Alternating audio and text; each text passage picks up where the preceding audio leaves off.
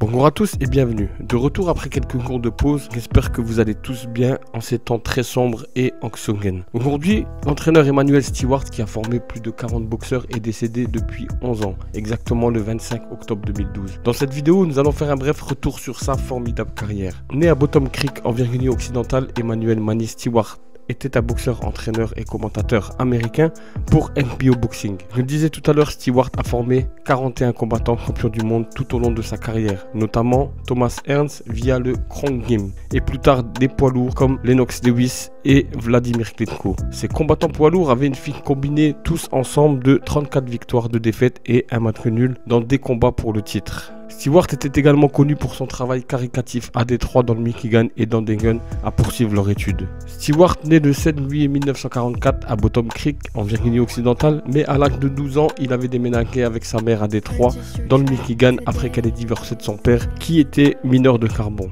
Se rendant au Bressware Recreation Center où Dwayne Louis et Eddie Futre ont été formés, Stewart a commencé à s'entraîner en tant que boxeur amateur, compilant un record de 94 victoires et 3 défaites, dont la capture d'un championnat national des Golden Gloves en tant que poids coq en 1963. Refusant une offre de la côte ouest pour devenir professionnel, ne voulant pas déménager et abandonner sa mère et ses deux jeunes sœurs, il est resté à Détroit en emmenant son demi-frère James Stewart au Grand Gym voisin en 1971, où il a entraîné plusieurs des meilleurs amateurs du pays et a remporté le titre par équipe au tournoi Détroit Golden Globe. Affectueusement connu sous le nom de Manny, Stewart a continué à perpétuer son succès auprès des amateurs en menant une carrière professionnelle au niveau du championnat. Une décennie plus tard, le 2 mars 1980, Stewart entraînait son premier champion du monde, Ilmer Kenty, qui remporta le titre mondial des poids légers de la WBA en mettant KO le champion du monde en titre des poids légers, Ernesto Espagna, en 9 rounds. Stewart a obtenu ses premiers succès les plus notables avec le poids welter Thomas Ernst, qui l'a transformé d'un boxeur léger en l'un des les plus dévastateurs de l'histoire de la boxe. Ernst est devenu l'un des combattants les plus titrés et les plus populaires de Stewart,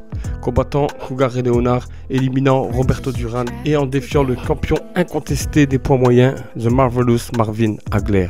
À 68 ans, Stewart est décédé le 25 octobre 2012 après avoir subi une intervention chirurgicale pour une diverticulite. C'est un trouble digestif fréquent affectant le côlon stymoïde. Il a été plusieurs fois nommé entraîneur de l'année en 1980, 1989 1993 et 1997. Il a été également intronisé au Hall of Fame en 2000. En 2001, Stewart a commencé à travailler comme commentateur de la boxe sur HBO Boxing une chaîne qui maintenant ne diffuse plus de boxe. Le Grand Gym est devenu la propriété de Stewart qui était également célèbre pour sa collection de voitures et de manoirs Rolls-Royce. Il a ouvert une succursale du gymnase à Tucson en Arizona et a créé une association avec le Dodd Théâtre de Phoenix pour présenter des combats de boxe une fois par mois. Parmi les champions du monde et les prétendants les mieux notés qui se sont entraînés ou ont demandé conseil à Stewart à un moment donné de leur carrière figuraient Aaron Prior, Adonis Stevenson, Andy Lee, Cal Dawson, Evander Holyfield, Gerard McLennan,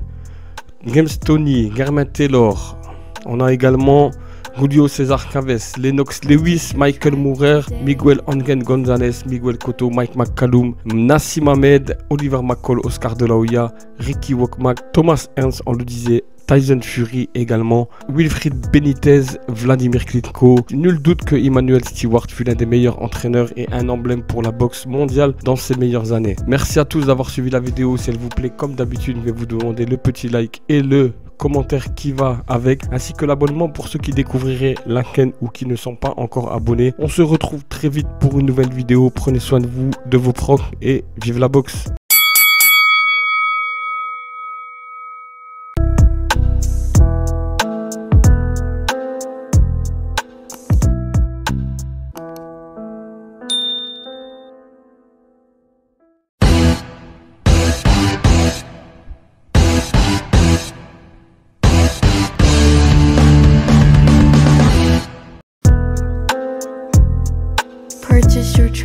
today.